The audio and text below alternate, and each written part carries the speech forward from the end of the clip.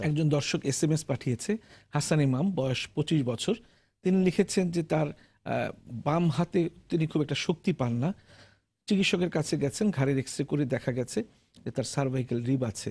এখন ফিজিওথেরাপির মাধ্যমে এই যে হাতে যে তার মানে শক্তি পাচ্ছেন না বাম হাতটায় তিনি কোনো উপকার পাবেন কিনা আপনার কাছে জানতে চেয়েছেন। আপনাকে অবশ্যই ধন্যবাদ যে এই রোগীগুলা যেমন ঘাড়ের রিভ সাধারণত। আমরা জানি যে বুকে হয় বুকের খাঁচা বুকের খাঁচা। হাড়গুলোকে আমরা রিপস বলে থাকি সেটা যদি ঘাড়ে হয় সাধারণত ঘাড়ে হওয়ার কথা না অনেকের রুডিমেন্টারি সার্ভাইকাল রিপ হতে পারে। তা থেকে যেটা হচ্ছে থোরাসিক আউটলেট সিন্ড্রোম বলে আমরা যেটা সেই সিন্ড্রোম থেকে হাতটা আপনি যে বলছিলেন অবশ হয়ে যাওয়া এগুলো হতে পারে। রুগী অনেক সময় ভয় পেয়ে যায় যে একটা রিভ হয়েছে এটা কি অপারেশন করতে হবে কিনা? আসলে এটা চিকিৎসা কোনো অপারেশন না।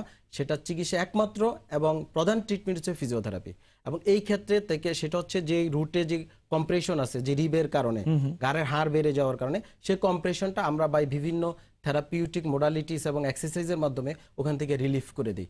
যদি নার্ভের কম্প্রেশনটা আমরা রিলিফ করে দিতে পারি হাড়টা আবার আস্তে আস্তে তার শক্তি ফিরে পায় নার্ভ আবার তার ইম্পালস পাস করতে পারে তখন দেখা যায় হাড়টা আবার ফ্রি হয়ে যায়। ভর্তি হওয়ার দরকার নেই। না এই এই রুগীগুলা সব ক্ষেত্রে ভর্তির প্রয়োজন হয় না এগুলো আউটডোর থেরাপি করলে অনেকাংশে আচ্ছা, আচ্ছা। ভালো হয়ে যেতে পারে।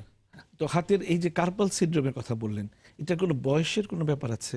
হ্যাঁ, অবশ্যই এটা সাধারণত মিডল এজ থেকে শুরু হয় তিরিশ পঁয়ত্রিশ বছর বয়স থেকে শুরু হয় এই বয়সে। মানে মিডল এজ হচ্ছে যেই বয়সে সবচেয়ে বেশি কর্মক্ষম মানুষ। সেই। সেই বয়সে এটা হয়।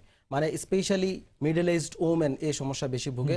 যারা ছোট কাজ করে যেমন কাপড় কাচা ঘর মুছা পাকসাবের কাজ করার জন্য মানে তরকারি কাটা সবকিছু। হাতের অতিরিক্ত মুভমেন্টে কাজ করে এবং যারা কম্পিউটিং করে। হ্যাঁ কম্পিউটারে প্রচুর কাজ করতে হয় ছোট ছোট কাজ। এবং সেলাই করার কাজ তাদের কার্পাল টানেল সিনড্রোম হতে পারে এবং যদি তার ডায়াবেটিস থাকে অবশ্যই হান্ড্রেড পুরুষ মহিলার মধ্যে কোনো ভ্যারিয়েশন আছে? একটু পুরুষের তুলনা মহিলাদের এই সমস্যাটা বেশি বেশি হয়। কার্পাল টানেলটা মহিলাদের বেশি আর যদি একটু অভেজ মহিলা হয় একটু মোটা হয় ওজন বেশি হয় যদি ফেটি হয় তাদের এই সমস্যাটা খুব বেশি হয় আর কি আপনারা যারা ফিজিওথেরাপির সঙ্গে জড়িত তাদের তো একটা বড় একটা কথা বলে দেন যে ওজন কমিয়ে আসুন। আপনারা কিছু ওজন কমানোর কোনো কিছু করেন কিনা? অবশ্যই আমরা এক্ষেত্রে আসলে ওজনের আপনি জানেন যে ওজনের বেশিরভাগ কারণ আমরা যে রিসার্চও দেখা গিয়েছে যে ল্যাক অফ অ্যাক্টিভিটি মানে মানুষ যদি কাজ life হ্যাঁ লাইফ লিডিং এবং হচ্ছে ফাস্ট ফুড আর এখন বেশিরভাগ মানুষ এবং হাই রিচ ফুড থেকে বেশিরভাগ কারণে হ্যাঁ। ওজন হয়ে থাকে।